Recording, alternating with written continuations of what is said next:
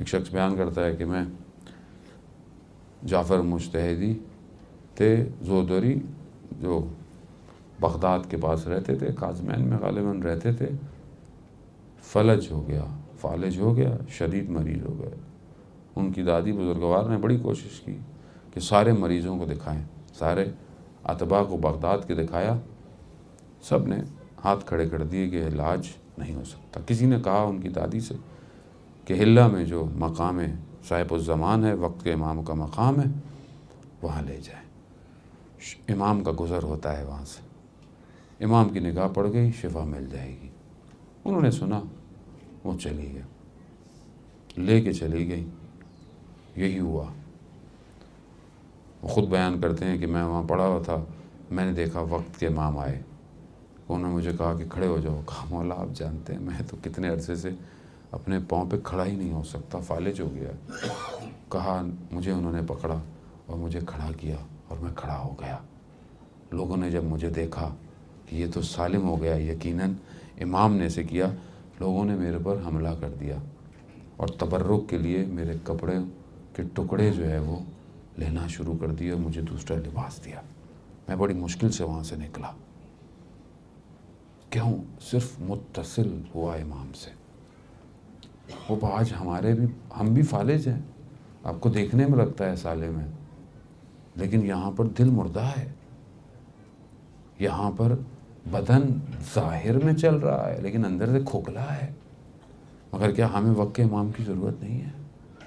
मगर क्या हमें ज़रूरत नहीं है कि हमारा मौला आए और हमारी हमारी इस मुश्किल से हमें निजात दे?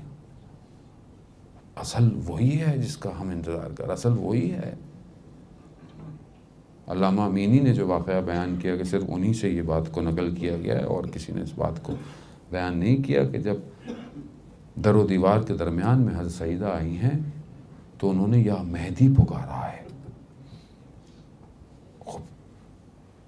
क्यों कनेक्शन है, रबता है, इरतबात है?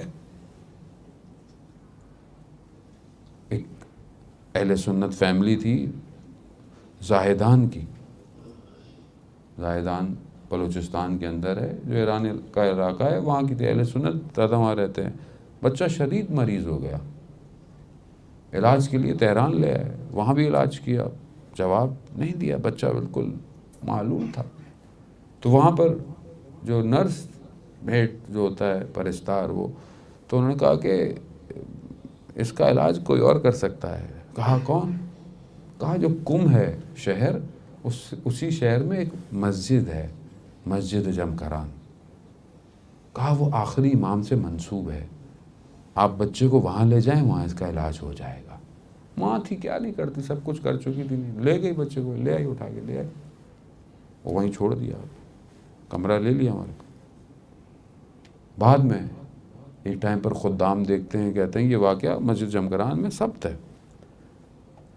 देखा कि बच्चा जो हिल नहीं सकता था, देखा बच्चा कमरे से बाहर चलता हुआ आ रहा है। खुदाम दौड़ पड़ेगी, क्या हुआ? फिर उस बच्चे ने बताया।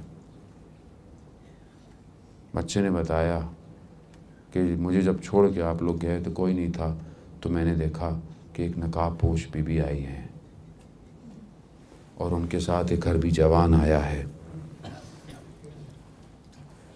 और दोनों आपस में गुफ्तगु कर रहे हैं। वो नकाब पोश खातून। कहती हैं उस जवान से कि इसको शिफा दे दो। कहा, नहीं, इसका वक्त पूरा हो चुका है। वो वक्त का इमाम है और हज सैदा है। कहा, इसका वक्त पूरा हो चुका है। तो खातून कहती हैं, इसकी माँ ने हमसे तवसल किया है। हमसे तवसल किया। कैसे खाली आज वो ये सुनना था, वक्त इमाम का, वक्त इमाम ने। खूब ये रबता है दोनों का।